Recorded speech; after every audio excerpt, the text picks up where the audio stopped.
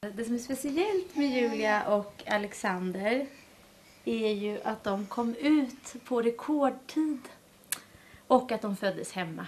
Från det att jag vaknade med en verk till det att Julia var ute så tog det 20 minuter. Det började med att jag kände av en verk som gjorde ont. Så att jag vaknade av att det var väldigt smärtsam. Och då så kände jag, men gud det här var ju rekordsnabbt, vad gör jag nu? Men nu, eh, då kastade jag mig på telefonen och så ringde jag det här eh, numret till förlossningen inne i Lund. Och då är klockan ungefär tio över tre på natten. Medan jag pratar med dem så känner jag det här enorma trycket neråt. Så att jag står där och säger Ja, men då ska jag skynda mig! Men vad gör jag om jag inte hinner? Jo, du hinner. Skynda dig, sa de. Ja, annars får du ringa 112. Ja, okej, så lägger jag på. Och sen så går jag på toaletten för att skynda mig och då går vattnet.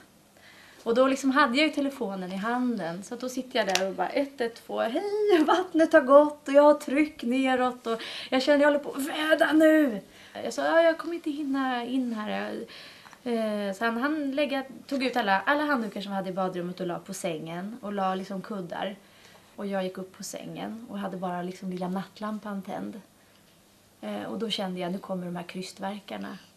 Och så var det bara Julia och jag då. Och jag visste att, att det var lilla tjejen som låg längst ner. Att det var hon som skulle komma. Så jag fick en väldigt så här personlig kontakt med henne.